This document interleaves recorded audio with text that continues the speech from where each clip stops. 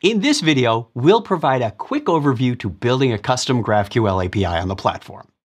Deeper details and a demonstration are provided after this overview in the next few videos.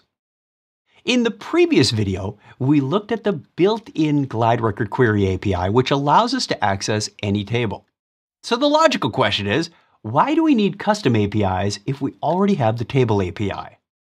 The answer is that your data may need to come from multiple tables or be calculated and constructed dynamically.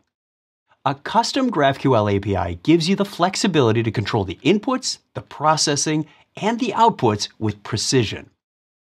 The major components of a GraphQL API are the API record, which contains information about the schema, authentication and authorization, one or more resolvers, and resolver mappings. We'll be covering all of these in more detail in the next few videos. For now, we'll take a quick look at an example. To do that, we'll navigate to All, System Web Services, GraphQL, GraphQL APIs. Let's open the decision table record. We can see some fields that are used to identify this API against incoming queries. We also see the schema that defines what the client can request. Think of this as a dictionary of sorts that governs what's available and how to request it. It's also used to generate the docs in the GraphQL Explorer.